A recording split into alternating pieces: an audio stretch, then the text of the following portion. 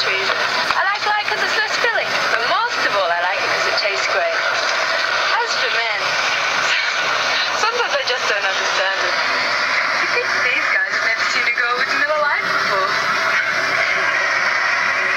Oh, for a perfect 10, there's only one light for you, Miller Lite. You are listening to a 1987 Miller Lite beer commercial uh, featuring Elle Macpherson. It's a really cool item, this can, uh, with the motion lights like that. I, I hope that's picking up on the video. Let me see if I can pour you a beer.